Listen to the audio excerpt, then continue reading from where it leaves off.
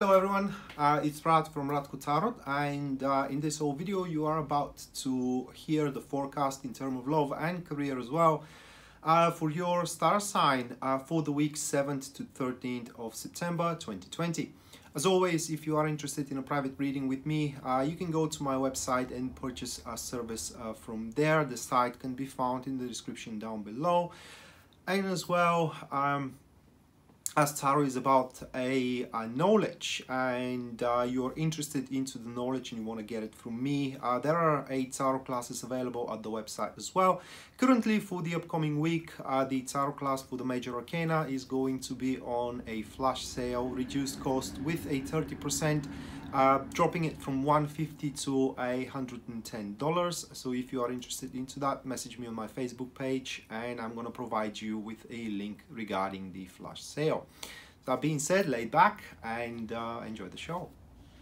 All right so uh, we do have Aries and Moon and as well Rising on our hands. And the first thing that we're going to have a look at is going to be your uh, love and relationship experience uh, toward the upcoming week upcoming week I'm sorry.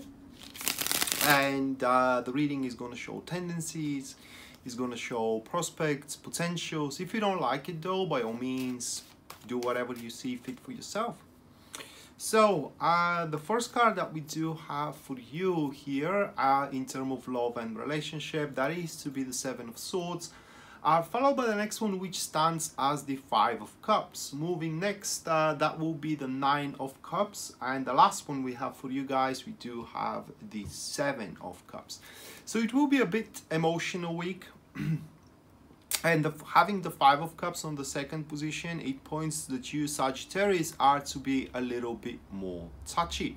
Like overreacting on things statements something you have been said you know or, or your partner does a specific thing say that usually would not trigger you in any way but throughout this week it is because you are a little bit more touchy.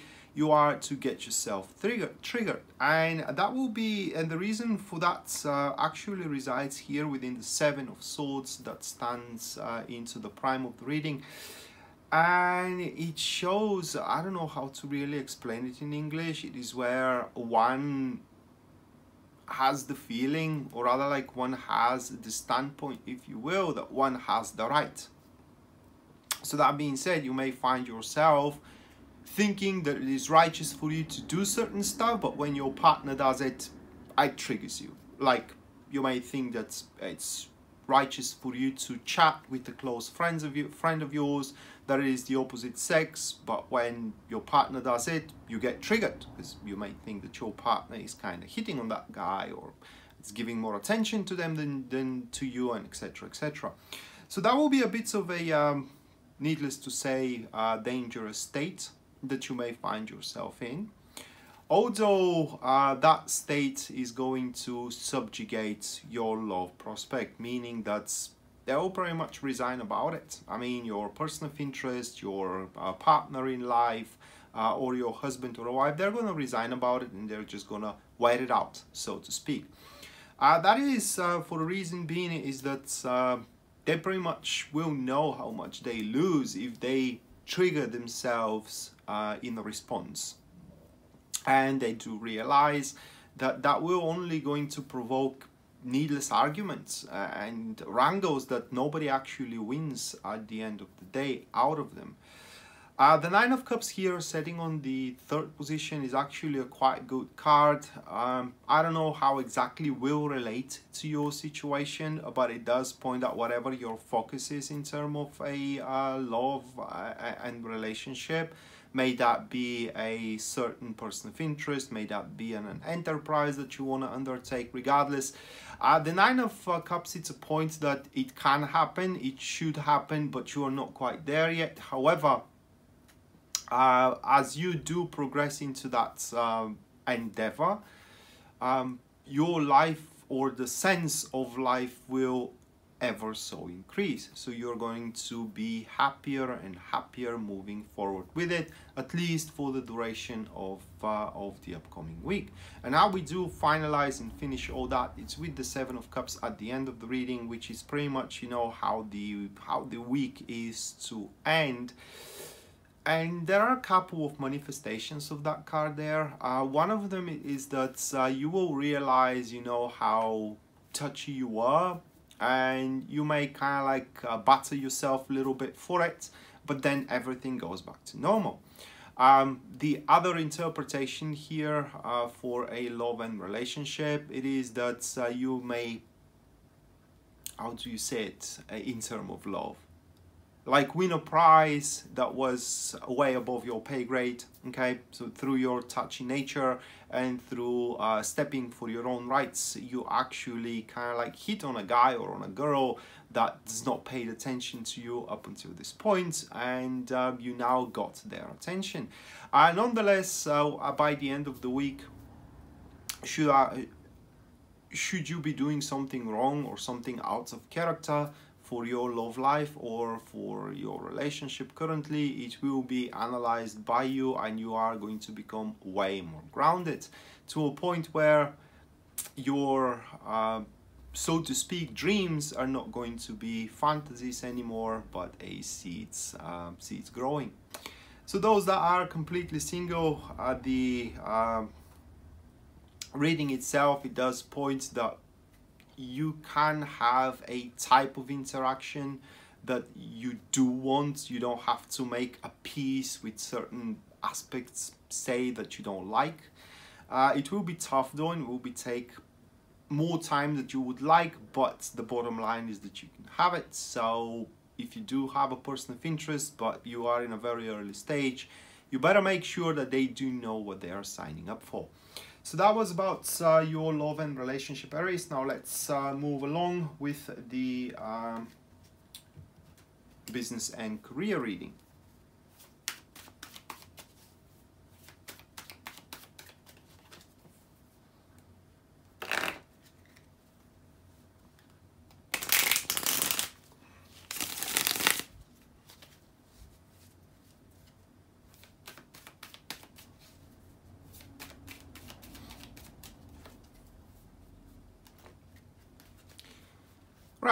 So in terms of business and career, the first card is going to be the Page of Pentacles. That is one of the best cards you can have in terms of business and career.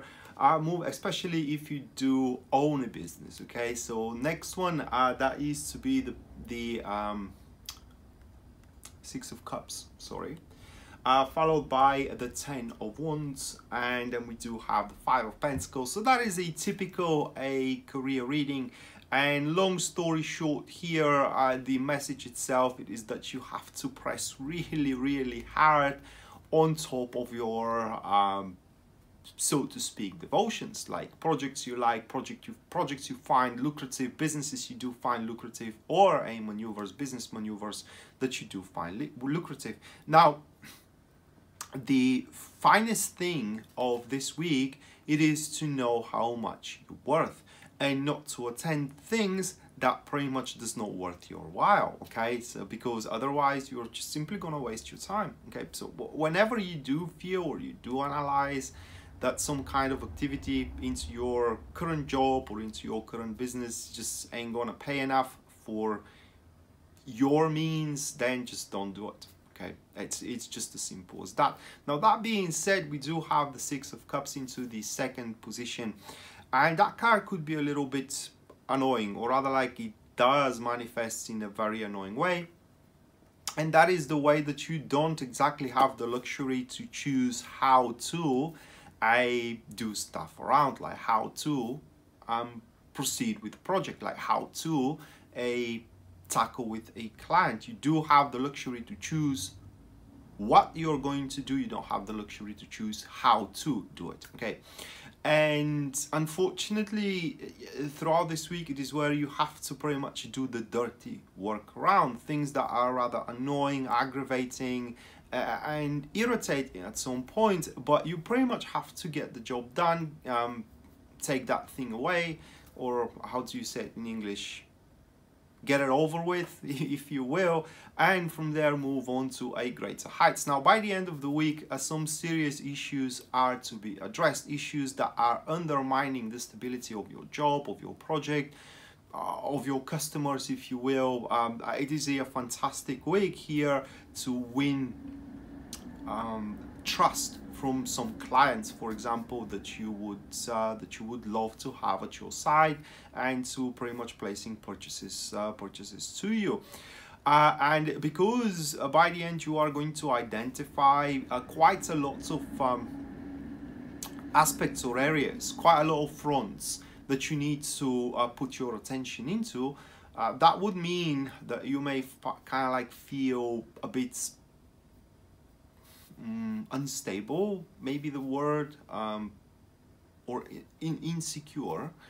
Uh, for you may have the doubts that you will be able to attend to every single one, you know, that you will be able to, at the end of the day, um, resolve every single demand issue plight whatever that you may face uh, into uh, into your career you will okay that is granted to you by the ten of wands but only if you do roll up your your sleeves up and truly undertake your a career unfoldment. No slack is acceptable whatsoever uh, those that are a jobless, uh, very important here for them. It's uh, the, the the reading is more like a guidance reading, and it's the understanding that you do go there to to make money. You are making money through resolving someone else's issues. You don't have to like the job. The job have to pay for your services. Okay, so my my my narrative here it is that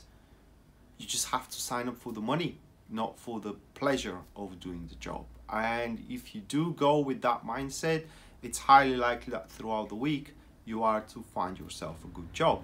So that being said aries this was your a, a weekly general tarot readings in terms of a love and career. Hopefully you do enjoy them and you do like them guys. And we may see each other next time. Until then bye